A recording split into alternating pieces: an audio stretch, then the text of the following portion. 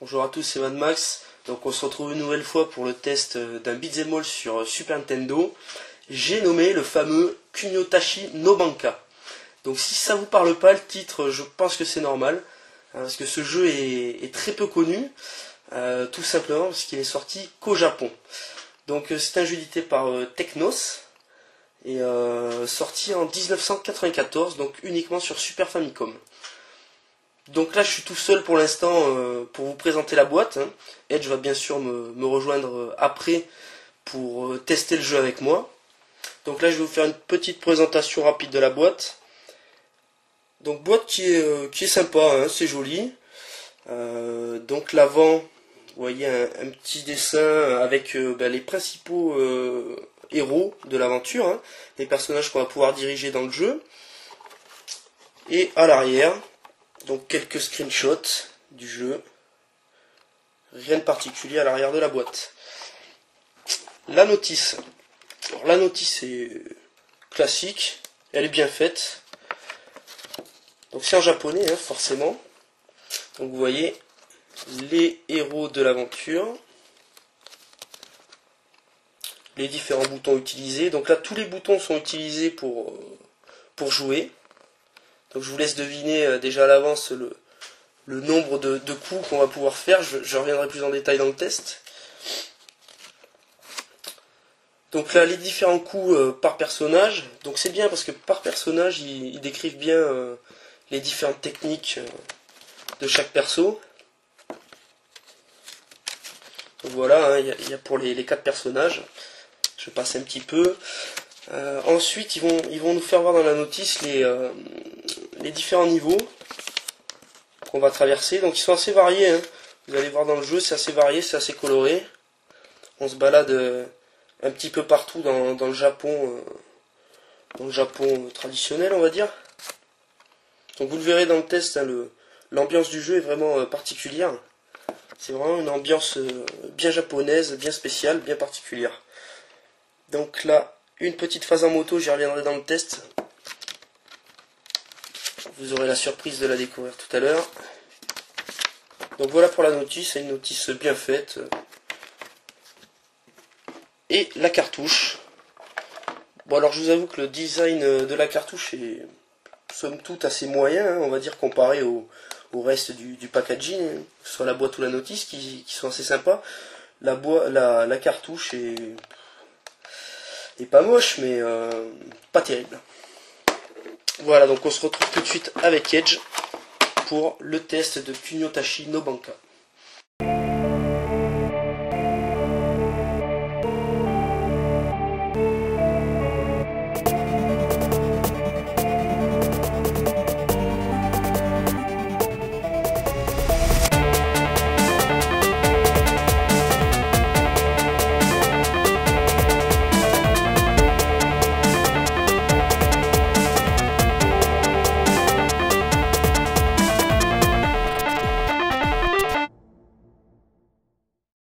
Bonjour à tous, on se retrouve donc euh, une nouvelle fois en compagnie de Edge.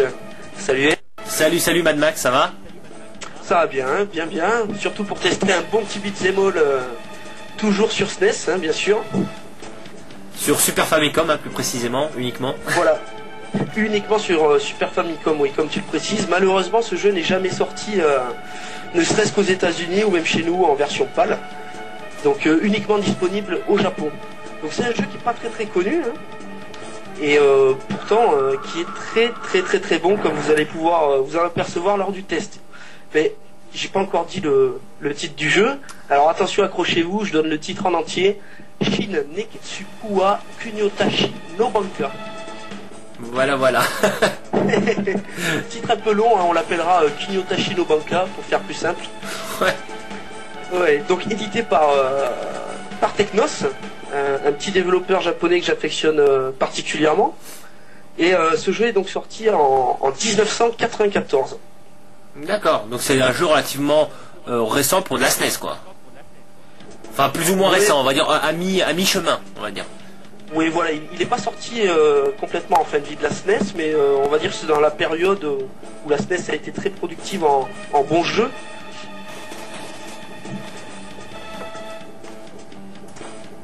Donc je reviens sur, l'éditeur du jeu, Technos. Euh, c'est pas seulement le, papa de la fameuse série des, des Double Dragons, mais c'est aussi le, créateur de la série des, des Kunio, Kunio Kun. Donc c'est une série qui est malheureusement pas connue chez nous, euh, contrairement au Japon où, euh, est un personnage important de jeux vidéo comme, euh, comme je sais pas, Megaman ou Mario. Euh, nous en Europe, on, on connaît pas tant que ça euh, les jeux Kunio parce que parce que tout d'abord, euh, il y en a très peu qui sont sortis chez nous en fait. Voilà pourquoi. Bon, Enfin, il y, en a, il y en a pas mal sur la, sur la console Jap, hein, sur la Super Famicom, il y en a un paquet, hein, je crois. Hein. Des jeux Kunio en, en version pâle. Ah non, pas en pâle, pas en pâle, je parle en Jap. Voilà, voilà. En pâle, il y en a, il y en a pas sur Ouais. la Super Famicom. hein. C'est uniquement sorti au Japon. C'est dommage parce que c'est une très bonne série, hein. Euh, comme vous allez le voir. hein. Donc Kunio, euh, pour euh, ceux qui ne connaissent pas, c'est une sorte de petit voyou japonais. Donc là c'est Kunio et Iriki, les, les deux petits voyous japonais. Et donc ils sont les héros de toute une série de jeux. Alors pas mal de jeux sont sortis sur 8 et 16 bits, surtout. hein. Donc sur 8 bits sur la NES, il y a eu pas mal de jeux. Donc je sais pas Edge, si je te parle de euh, de, de, de Soccer, est-ce que ça te parle? Et, et si je te parle de World Cup, est-ce que c'est ça? C'est exactement ça. Ah, j'en étais, j'étais certain de mon coup. J'étais certain de mon coup, j'allais justement te poser la question. Donc sur NES, voilà, il y a Et sur Game Boy jeux euh, sur NES, sur Game Boy, Ouais. euh, même sur PC Engine. hein. Il y a plein plein de jeux euh, Kunio qui sont sortis au Japon hein, sous l'appellation Kunio. Alors vous avez les Neketsu Kunio Dodgeball, euh, des choses comme ça. Et euh, dans, la- dans les adaptations PAL, ils ont euh, complètement changé les noms. Donc c'est pour ça qu'on se retrouve avec du Nintendo World Cup, du Street Challenge, du Street Gang. et du Dodgeball aussi. Dodgeball. Voilà, Dodgeball, c'est du même éditeur avec toujours ces, ces fameux héros, là, Kunio et Eriki. Alors, alors, pour- pour- excuse-moi de te couper, juste pour, euh, pour préciser, le Dodgeball c'est la balle aux prisonniers en fait. Hein. Ouais, voilà, c'est des jeux de ballon prisonniers. Et euh, ils en ont fait pas mal, hein. d'ailleurs, il y, en a un très bon qui est sorti en arcade. Le premier est sorti en arcade, hein, le Dodgeball tout court. Puis il a été adapté par la suite sur NES et sur PC Engine, je crois bien. Et sur Game Boy toujours, j'insiste, parce que je les avais fait sur Game Boy moi à l'époque. Ouais. Et il y a, il y a un très bon épisode arcade qui est sorti en 96, euh, je crois bien, sur Neo Geo. Alors c'est un très très bon jeu avec des, des graphismes démentiels, des gros coups spéciaux qui prennent tout l'écran. Il est assez dur à trouver hein, au niveau arcade. hein. Il a jamais été adapté sur aucune console, ce qui est bien dommage. Même pas sur la Neo? Sur la Neo aussi? Non, non, même pas en version cartouche. hein. Il est sorti seulement en version euh, MVS. Ah d'accord, ok. Ouais, donc c'est pour ça qu'il est très très dur à, à trouver. Donc toujours pour continuer sur la série euh, des Kunio-kun, le premier épisode est, est apparu en, en arcade justement. Il s'agissait, alors le, le titre est un peu compliqué comme d'habitude avec les Kunio. C'est Neketsu Kwa Kunio-kun. Est-ce que tu- ça te parle, Edge? Donc là tu me parles du jeu de ballon prisonnier sur arcade, c'est ça? Non, là je te parle du, du premier, du premier jeu Oui, où on a vu apparaître euh, ce personnage. euh, C'était un beat'em all. ça me parle pas du tout, non. Bon, et si je te dis Renegade, Ah c'est pas vrai. Voilà. Non, c'est ça Oui, Ah c'est pour ça qu'il y a des grosses similitudes. Ah d'accord, je commence à comprendre. Voilà, mais le problème c'est que c'est que Renegade, euh, comment t'expliquer ça, a été adapté, on va dire, en, que ce soit aux États-Unis ou en Europe, par euh, Taito, qui a, complète- qui a complètement euh, refait le jeu. Donc à la base, dans, dans le jeu euh, japonais, c'est une ambiance euh, typiquement nippone. Mhm. Et dans les versions européennes et US, on se retrouve avec euh, une ambiance, ben, une ambiance européenne US. Donc tout a été changé, les graphismes, les ennemis. Donc c'est- plus du tout le même jeu, à part dans le principe. Ça reste un beat'em all. Mais ce qui est bien dommage. Ouais, moi je connais que les versions européennes et j'ai, franchement j'ai été complètement fan à l'époque de, ce- de ces versions-là d'ailleurs. Ouais, mais je te, je te conseille et je vous conseille tous euh, d'essayer la, la version japonaise. hein. Elle a un petit quelque chose en, En plus, en ouais. plus. Voilà, c'est tout, tout l'univers, toute l'ambiance euh, de Kunio. D'ailleurs, il y a énormément de points communs dans, cette, enfin, dans, dans le Kunio euh, Bank, No Banka là qu'on est en train de faire. Avec les renégades, hein, le fait de... Enfin bon, je vais pas détailler ça maintenant, mais d'un point de vue du gameplay, il y a quand même de grosses... Pas mal de ressemblances, je trouve. Ouais, alors on rentrera plus en détail euh, à un petit peu après. Donc là, euh, depuis tout à l'heure, mais en fait, on regarde l'introduction. Hein.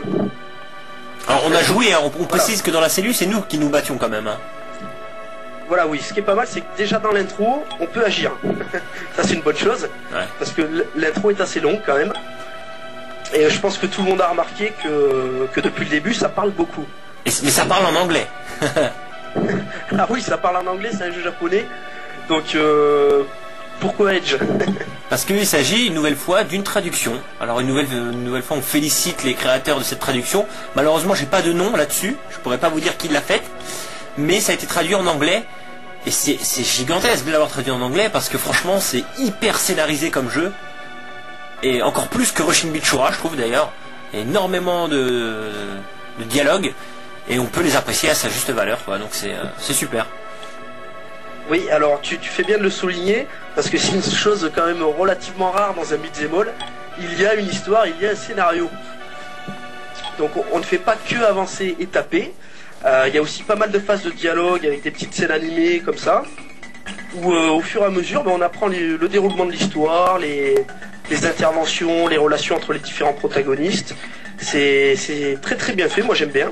Ah oui, c'est agréable. On dirait un dessin animé. Enfin, ça nous fait penser vraiment à, des- un dessin animé, quoi. C'est. euh, Voilà, mais le seul petit reproche quand même, c'est que ils auraient dû aller euh, jusqu'au bout de, de leur pensée, les développeurs, je pense, et euh, qu'on puisse interagir dans les dans le dialogue. Tu vois ce que je veux dire? Ouais, ça faire des choix, etc. Quoi.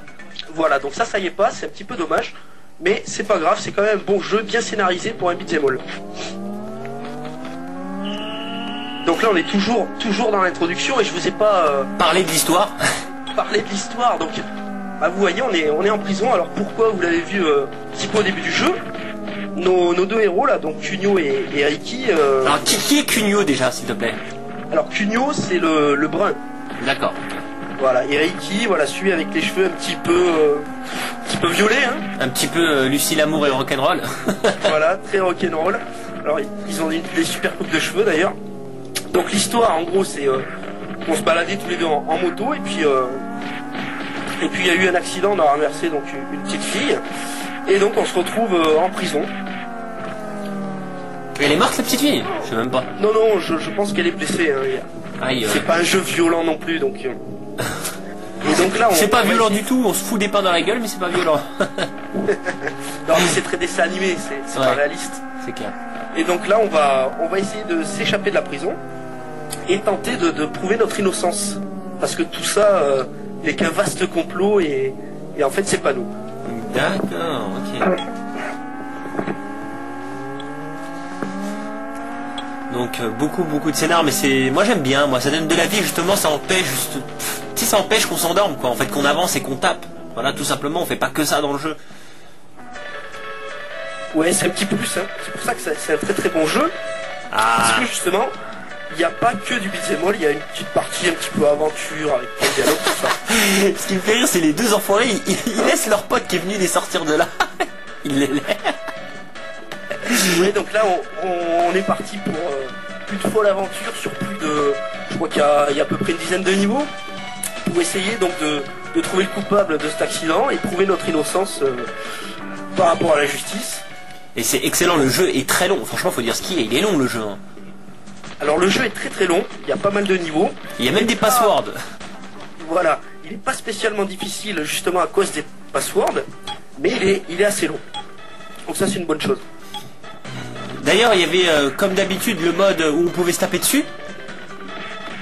Euh, au début du jeu, je pense que c'était ça, non? Il y avait pas ça Deux players compte, c'est pas ça? Non, non, non du tout. Ah, pardon, excuse-moi, je, je raconte que des conneries, vas-y, je te laisse parler.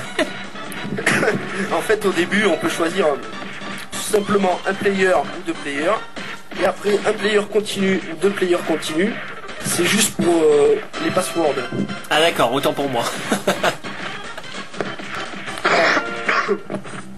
Ah, je suis désolé si je tousse un petit peu. Est-ce que tu m'entends, Edge? Oui, oui, je t'entends, mais tu m'as l'air bien malade, ma foi. Oui, oui, je suis un petit peu malade en ce moment. Donc désolé si, si pendant le test, euh, je perds un petit peu ma Mais t'excuses pas, va, t'excuses pas, on s'en fout, hein, on fait ça pour le fun, s'ils sont pas contents, les gens, ben, ils iront voir ailleurs, voilà. Très bien. Donc voilà, là on a réussi à s'échapper. Voilà, par contre, c'est des films, faut pas taper la police, hein. Je vous, je vous rappelle, hein, faut pas. Putain, mais, Non, non, ce- ceci est une fiction à ne pas faire dans la réalité, bien sûr. Eh, mais il nous a insulté de bâtard quand même, ça abuse, quoi.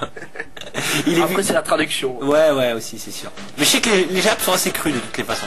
Là-dessus, euh, ils ont pas de, de tabou là-dessus. Hein. Alors voilà, beaucoup de phases de dialogue, hein, surtout au début, donc le début est un petit peu long.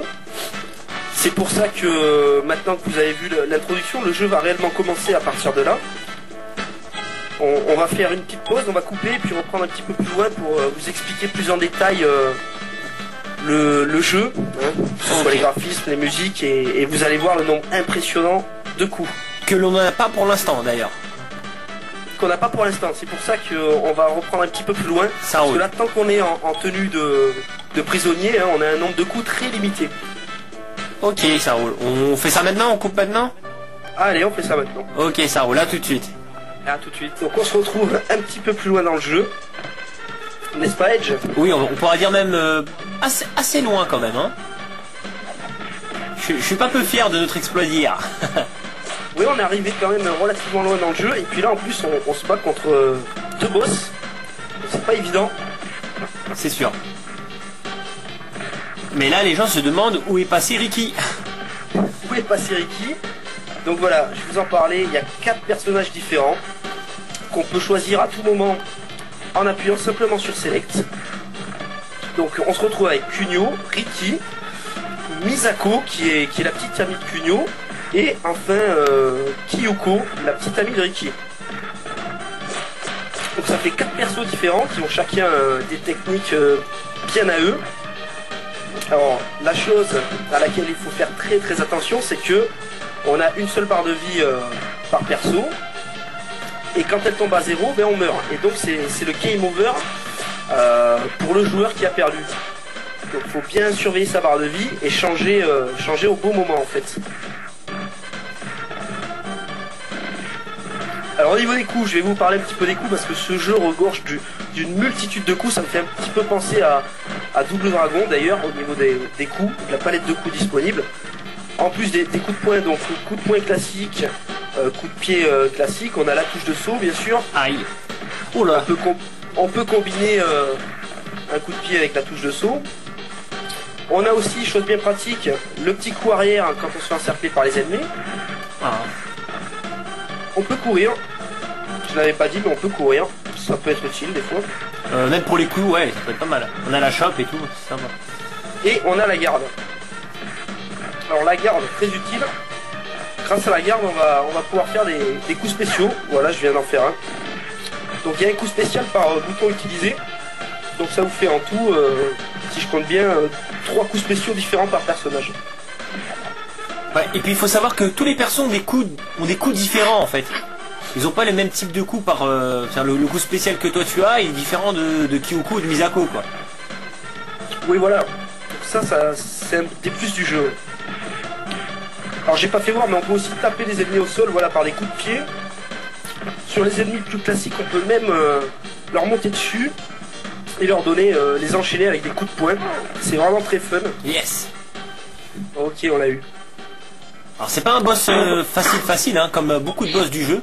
C'est des boss qui sont assez assez chauds quand même à avoir. Oui, en général, on s'y reprend plusieurs fois avant de passer les boss. Et euh, toujours sur les coups, hein, je, je le ferai voir juste après. On peut aussi bien sûr choper les adversaires, hein. sinon ce serait pas un vrai beat'em all. Vrai. Donc on peut les choper, leur donner des coups de pied, des coups de genoux et euh, bien sûr les projeter.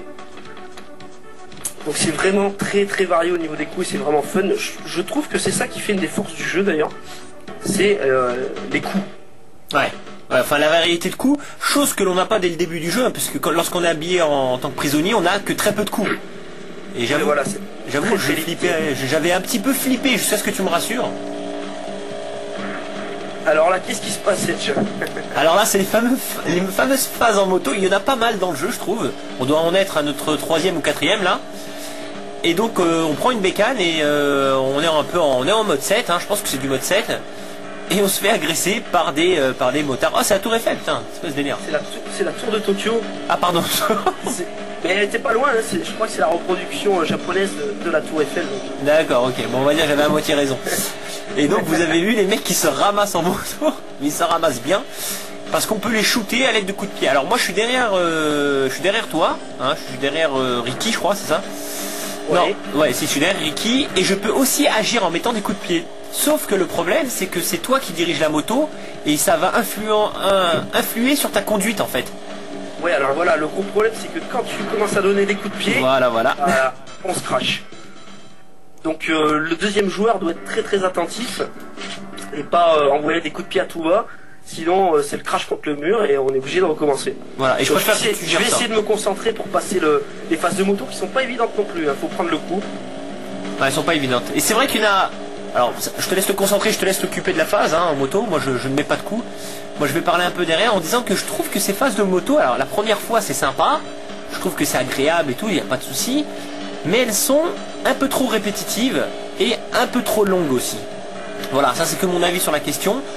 Mais bon, ça reste, euh, c'est pas, c'est pas vraiment un défaut quoi. hein. C'est, un jeu qui est quand même varié. Alors parce que au-delà de tout ça, vous avez pas vu les niveaux précédents. Mais les niveaux précédents, c'était un truc de fou, quoi. C'était, euh, moi, je trouve personnellement que c'est le jeu, le beat'em all le plus atypique qui soit. On s'est retrouvé dans un collège, on a, on a bastonné des lycéens, on a récupéré nos vêtements, on s'est retrouvé ensuite dans un parc d'attractions, on a fait un tour de manège euh, qui servait à rien. Je trouvais ça énorme. c'est un tour de manège gratos, on regarde l'animation se faire, on est content, ok, bon, ça n'apporte strictement rien au jeu. Euh, on a été bastonner des mecs euh, dans des entrepôts, on a, enfin, il est varié à mort. Le jeu il est super varié. Toujours bien sûr entrecoupé de phases de dialogue avec des protagonistes du jeu. Euh, bon, je connais pas l'univers de Kunio moi personnellement, mais je suis persuadé. euh, Enfin, je sais pas, est-ce que ça existe en dessin animé ce truc-là par exemple? Euh, écoute, moi je sais qu'il y a des mangas qui sont sortis sur Kunio. Ouais, ça m'étonne pas. En dessin animé, je sais pas du tout. Ouais, voilà, des mangas, tu vois. Donc ouais, c'est vraiment un univers quoi. C'est un Ah univers. ouais, euh, c'est vraiment quelqu'un de. C'est un personnage très populaire au Japon, comme je disais. hein. Mm. Donc il y a eu des mangas, il y a eu plein de jeux. Euh, donc c'est c'est vraiment. L'ambiance est bien particulière. Moi j'adore l'ambiance dans le jeu. Ah ouais, non, mais c'est clair. L'ambiance on la retrouve dans les graphismes. Ouais. Euh, une ambiance bien, bien japonaise, bien nippone. euh. Ah merde, il m'a repoussé, j'ai pas eu le temps de le bastonner. Alors, tout de suite là, en voyant ces persos que je ne connais pas, parce qu'il faut, faut expliquer aux mecs qu'on découvre euh, ces phases de jeu là avec eux, c'est l'un des reproches que j'avais fait sur le jeu, c'est qu'il n'y a pas d'armes. Ouais, voilà. Problème, il n'y a pas d'armes. C'est vraiment dommage. C'est un des seuls petits reproches du jeu. Hein. C'est Ouais. ça. Hein. Et c'est les premiers adversaires que l'on voit avec des couteaux, hein. Ouais. Bah, je te disais, c'est un jeu qui n'est pas violent, hein, Edge. Oui, Donc c'est on vrai. n'a pas d'armes, on- tout ça se passe dans une ambiance cartoon, euh, dessin animé. Donc là, oui, il y a- il y, a des couteaux, mais c'est les seuls, hein, je crois, qui, qui sont armés dans le jeu. Ouais, d'accord. Donc là, c'est plus la mafia, quoi. Voilà, ouais. Aïe, euh. Donc les graphismes, on n'en a pas trop parlé. Ouais, c'est vrai. On va parler un peu de la technicité du jeu. Voilà, tout euh, le côté technique du jeu. Donc perso, hein, moi les graphismes, je les trouve très jolis, agréables à regarder. Même si c'est pas non plus euh, une tuerie graphique, hein. pour un jeu de 94, euh, C'est très joli. pas- c'est joli. Voilà, ça reste joli, Voilà, mais c'est pas sublime non plus. Non, non, je veux dire, on n'est pas impressionné pour un sou. Je veux dire, il n'y a pas un moment donné où vous allez dire, waouh, la vache, qu'est-ce que c'est beau. Mais vous allez toujours être. euh, Enfin, ça fait toujours plaisir de les regarder. Il n'y a pas un moment donné où vous trouverez ça laid non plus, quoi. C'est. euh, C'est coloré, c'est détaillé, euh, voilà quoi, c'est c'est du bon, c'est du tout bon. Voilà, c'est surtout très très varié. Ouais, c'est clair. Très très varié au niveau des graphismes. Les ennemis aussi sont, sont sympas, hein. Avec une réserve au début du jeu où j'ai trouvé que, notamment quand on a fait le, le lycée, enfin je sais pas, je pense que c'est, je suppose que c'est un lycée, où les ennemis se ressemblaient tous à chaque niveau. Mais sinon, ils sont quand même, euh, ils ont quand même une, un- une certaine personnalité, je trouve, un certain charisme. Putain, mais il me fume. Ah, faut qu'on fasse gaffe, on va se faire avoir. hein. Voilà. Euh, après, le bonne chose, le jeu ne ralentit jamais, ça c'est une très bonne chose. Ouais, c'est sûr. Aïe, euh, je suis mort. Vas-y, c'est pas grave, fais-le. Oh. Fais-le. Bon, écoute, je vais essayer de les passer. Ouais. Euh, le jeu ne ralentit jamais. Par contre, l'animation, alors l'animation c'est peut-être un, un chouïa lent au niveau des, des déplacements, je trouve. Euh, oui, fois- un petit ouais, peu. voilà, des, des fois on n'arrive pas à faire euh, vraiment ce qu'on veut. Donc ça, ça entache un petit peu la maniabilité qui est, qui est bonne, mais il y aura toujours un petit temps d'adaptation. hein. Il y aura un petit temps d'adaptation pour arriver à, à sortir les coups euh, au bon moment. Donc c'est un petit peu dommage aussi.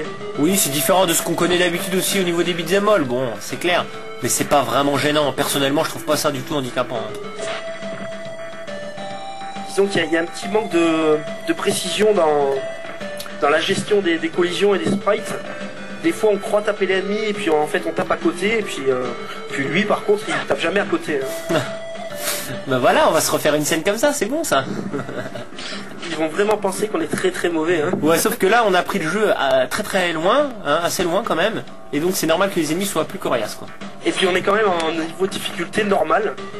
Donc en normal c'est c'est pas évident. Parce qu'il y a, y, a que- y a que deux niveaux de difficulté dans le jeu, facile ou normal. Et les coups de couteau, ils sont super violents quoi. Alors je précise que pour voir la fin du jeu, il faut le finir en normal. Si vous mettez easy, euh, au bout d'un moment ça coupe et le jeu vous invite à recommencer en, en normal. Super, super la rage, ouais. donc là, on va. Ouais. On va essayer de passer quand même. Ouais, ça serait bien parce que là. pff. Oh putain. Ils sont, ils sont très méchants avec leur couteau, hein. puis ça enlève pas mal d'énergie. Bah oui. Oh putain, et moi je tape pas, je lui monte, je lui monte dessus mais je tape pas. Attends Edge, je viens t'aider. Merci, bien vu. Ah oui, on peut tenir les adversaires euh, de dos aussi pour que l'autre puisse taper. Oui, ça j'ai- on l'a pas dit, c'est vrai. Ça peut être utile, Ouais. mais faut pas qu'ils soient trop nombreux. Voilà, comme je fais. là. Attention. Le problème, Ouais. Voilà, le problème c'est qu'ils ont tendance à se dégager rapidement les ennemis. Ouais, il fout des coups de boule en arrière ou il pousse comme ils l'ont fait là.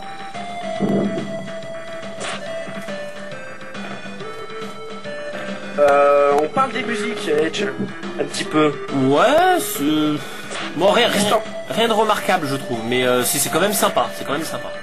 Ouais, voilà, là je suis assez d'accord avec toi. Disons que les thèmes sont pas prises de tête. Alors, ça donne pas envie de couper la musique, mais on les retiendra pas non plus forcément. Ça reste correct. Un peu à l'image des graphismes, hein. c'est correct, mais rien d'inoubliable euh, non plus. Voilà, c'est ça. Mais au moins c'est constant quoi, dire... euh, C'est constant.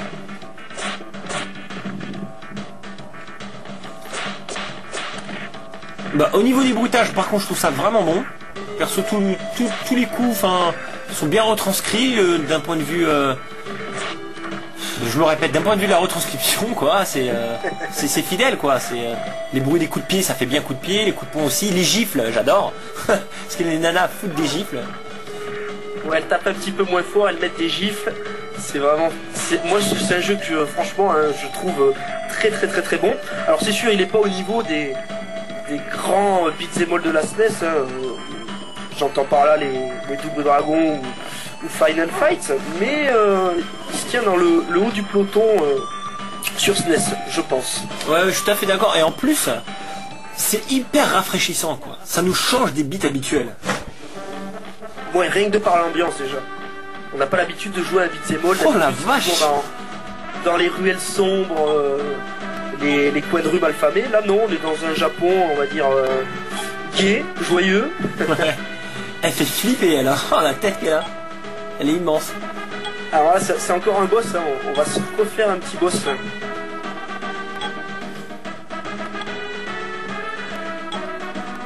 Alors, on zappe un peu les dialogues. Moi, je les lis euh, en diagonale. Mais euh, c'est sympa à lire. hein. Je, vous, je vous conseille si vous avez le temps. Ah, mais merde, on a plus d'énergie. Attends. Ah, faut qu'on fasse, faut qu'on fasse très attention, Edge. Surtout qu'elle est pas évidente celle-ci. Ah, bah merde. Oh la vache, je suis mort. Je pense qu'on va avoir le droit de le refaire. Voilà. On, on, on refait qu'à partir de elle, tu crois? Oui, oui, Bon, ça va alors. il me semble, il me semble. Bah, J'espère parce que là on n'a pas récupéré notre vie et ça me fait chier de me retaper les. euh, les euh, Ouais, c'est cool, ça va. oh, l'arrivée fracassante. Ah oui, là, j'ai rien vu. Hein. Mais c'est qui elle? C'est quoi ça? Quand je vous disais que c'était atypique et décalé, c'est. euh, Ah, c'est. C'est clair. Il faut, faut voir la tête des boss, rien que la tête des boss. hein. On comprend tout de suite l'ambiance du jeu. Bien fun et décalé, ouais. On est des loupards. C'est la guerre des gangs. voilà, on, on est des voyous japonais. euh, alors des lycéens quand même, je tiens à le rappeler. hein.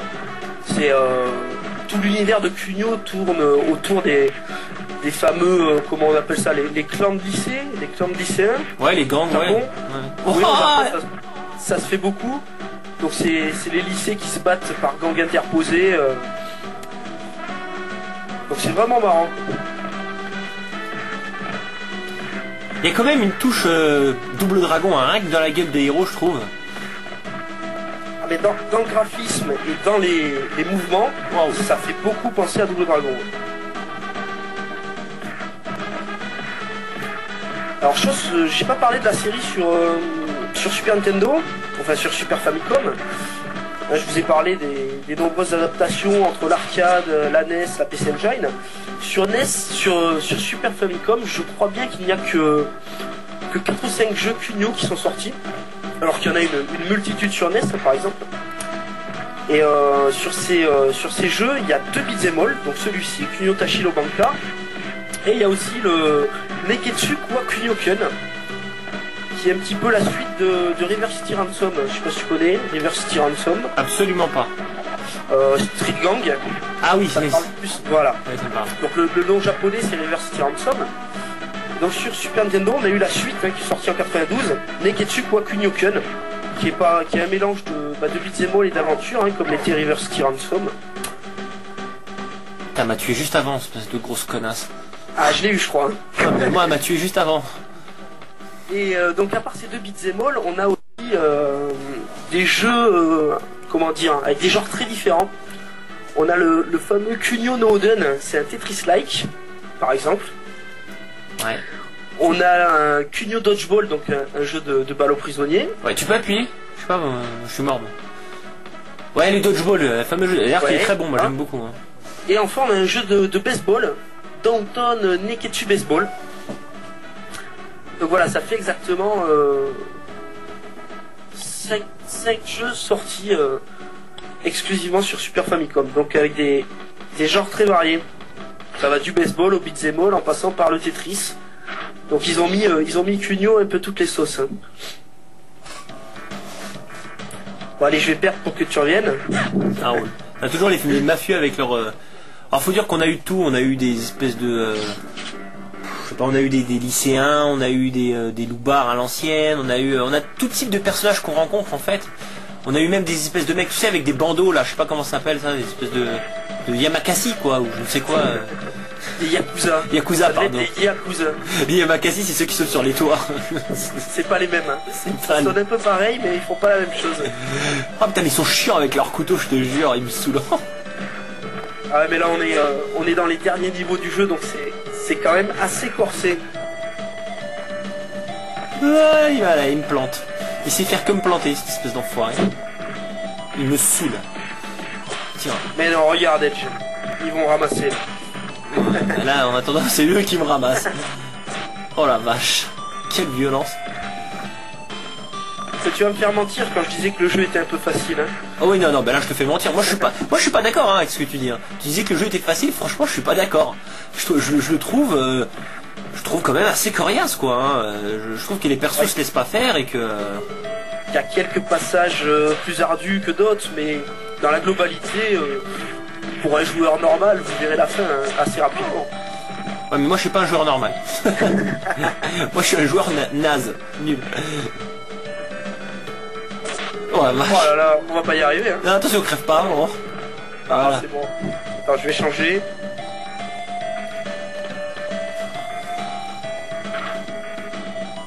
Bon, que dire d'autre? Je pense qu'on a fait le tour hein, sur les, toutes les qualités euh, qu'a ce soft. hein. Ouais, c'est vrai. Pas énormément de défauts, hein, pas énormément. Non, il n'y a, pas beaucoup de défauts. Je te dis, les seuls défauts que moi je trouve, c'est les musiques classiques, euh, une maniabilité des fois un petit peu aléatoire avec la gestion des collisions, tout ça, et pas d'armes. Voilà Ouais. pour moi les, les gros défauts de ce jeu, c'est ça. Et c'est pas des gros défauts, hein, c'est des petits détails, on va dire. Après, Ouais. le jeu est beau, le jeu est fun, l'ambiance est, est super. Et en plus, on a un scénario euh, assez recherché pour un beat'em all. Ouais, Donc du tout bon pour moi, du tout bon. Un jeu à, à essayer et à posséder. ouais, je suis tout à fait d'accord. Ouais, au moins à posséder. Et euh, bon, c'est sûr que bon, si vous l'achetez le jeu, vous l'aurez qu'en Jap. Oh la vache, oh la vache. Ah, ça devient... Oh, qu'est-ce qui se passe là? Ah les pauvres. Donc c'est sûr qu'en Jap, ce serait pas trop compréhensible, mais vous avez la ROM dispo en anglais, donc sur le site, euh, bon, sur SNESFR entre autres. Oh, un moment triste. Voilà, C'est moins, émotion. c'est moins chaleureux là. hein. Le pire, c'est que les deux, quoi. Alors à savoir que le jeu en version cartouche est pas forcément évident à trouver. Ouais. Il est, il est pas, il fait pas partie des titres rares de la Super Famicom, mais euh, faut avoir l'occasion de, de le trouver en occasion. C'est assez dur. Putain, c'est un spoil de ouf. Elle crève vraiment là? Non, je pense qu'il les a juste blessés. hein. Il me semble. Il me semble. D'accord, ok. Bon. ah, c'est sympa, vous avez vu plein d'animations différentes, là on les tient dans les bras, etc. Voilà quoi, c'est pas... euh, Enfin, j'aime beaucoup. On sent que c'est soigné quand même. On sent que Techno, ils ont pris soin de leur bébé. hein. Ils ont scénarisé tout ça et tout. Non, mais je trouve ça, je trouve ça classe. Et il, il me semble bien en plus que c'est le dernier jeu de Technos euh, sur Super Famicom. hein. Ah ouais? Ils en ont pas, ouais, il me semble, ils en ont pas sorti d'autres après. hein. D'accord. Ils ont arrêté tôt quand même, hein. 94 94, ouais. Bah après ils ont sorti quelques jeux en arcade, hein, comme le Super Dodgeball. Mhm. Et je crois que c'est c'est une boîte, euh, une boîte de jeux vidéo qui a, qui a arrêté, euh, qui a coulé hein, carrément euh, avant, avant les années 2000. C'est fou quand même hein, par rapport à l'époque. À l'époque, il y avait plein de boîtes de jeux partout, etc. C'était excellent. Et aujourd'hui, ça se limite à deux, euh, à Konami, Capcom, Square, Enix, voilà. Et ils ont, ils ont racheté tout le monde en fait, quoi. Alors à savoir que enfin oui, actuellement on trouve encore des jeux Cugno qui sont sortis sur euh, Game Boy Advance, même sur DS, hein, parce que la licence a été reprise par euh, l'éditeur euh, Million.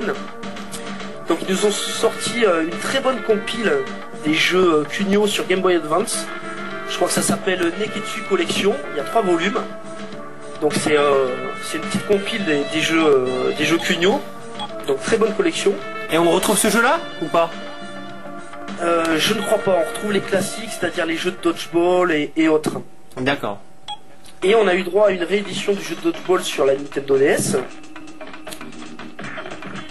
Et je crois que c'est à peu près tout. Si on a eu, le- je l'oublie comment et je peux l'oublier, on a eu le, le magnifique euh, River City Ransom, la réédition sur Game Boy Advance. Alors je le conseille aussi à tout le monde. Hein. Comme j'avais conseillé le fameux Double Dragon Advance sur Game Boy Advance. Que j'ai fait finalement. J'ai eu le temps de le faire, hein. Ouais alors, qu'est-ce que t'en penses? Mais je pense qu'il est excellentissime, vraiment. Je pense que c'est une excellente réédition. Mais je, si je devais le comparer à Super Double Dragon, par exemple, tu disais que musicalement il était mieux ou ce genre de choses. Là-dessus, je suis pas trop d'accord, même graphiquement. Mais, euh, mais reste dans l'esprit. hein. ah non, mais c'est, deux. Ouais. Pour moi, c'est les deux plus grands Double Dragon qui existent en fait. hein. Mais vraiment. hein. Mais à égalité, j'ai envie de dire deux délires différents, mais plein de coups disponibles, plein de. C'est impressionnant, vraiment excellent. Le Double Dragon Advance, excellentissime. Donc excellentissime et je vous conseille donc le River City Ransom euh, version Game Boy Advance qui est donc la, la réédition du, jeu d'origine avec des pareils, des meilleurs graphismes, plus de coups. Donc à essayer aussi. Et euh, il me semble que c'est le dernier euh, jeu Cugno à être sorti. hein. D'accord, ok. Bon, bah je vois que ça se profile tout ça, là, on avance plutôt pas mal. Écoute, faudrait pas qu'on spoil de trop hein, parce Ouais. qu'on se rapproche vraiment de la fin. là. Ouais, ouais, je pense qu'on va arrêter ici, et puis qu'on a fait le tour de toutes les façons. Ouais, moi je suis fan, hein. franchement je suis fan euh, à fond, en tant que mec, etc. Ce jeu-là, je l'ai découvert il y a... Il y a quoi Il y a franchement même pas un an. J'y avais joué vite fait, j'avais jamais vraiment rodé le jeu comme avec toi, là. Mais c'est un plaisir, quoi. Ça, c'est vraiment un plaisir. Un excellent jeu, moi je vous conseille vraiment de vous le faire à deux sur un machine, vous, vous allez vous taper des barres. Moi je le trouve très fort. Voilà, voilà. Ah, écoute, sur ce, je pense que on, on va vous laisser sur ces quelques images. On va pas spoiler, on va arrêter là parce que je, il, il me semble que le boss de fin est plus très très loin. hein. On se rapproche. Donc euh, essayez ce jeu, éclatez-vous dessus sur Amashi.